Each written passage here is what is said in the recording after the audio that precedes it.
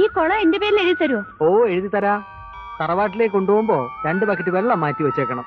ഞങ്ങൾ അച്ഛനും മക്കൾക്കും ഇടയ്ക്ക് കുളിക്കണ്ടേ? ഇപ്പൊ ഇങ്ങോട്ട് ആരെങ്കിലും വരുമോ ഏയ് ആരും വരില്ല. നീ ധൈര്യമായിട്ട് വിളിച്ചോ എന്നാ ചേട്ടനും ചാട്. ചാട്?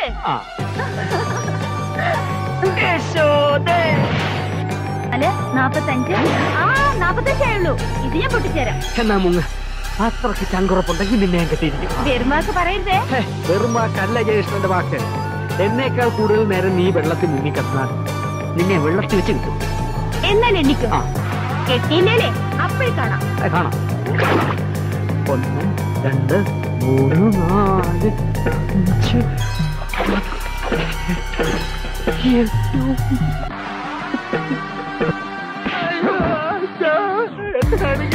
കഴിവാണ് പോലെ കണ്ട തേവിടിച്ചൊക്കെ കലക്കി കുളിക്കാനാണോടാ? കാരണവന്മാർ നിനക്ക് കുളം കുഴിച്ചു തന്നിരിക്കുന്നത്. സർവനാശം വരുത്താൻ ഓരോരോ സന്തതികൾ. എന്റെ കയ്യിലോട്ടാടി വെള്ളത്തിൽ നിന്ന് അവിടെ പൊന്തി വന്നത്.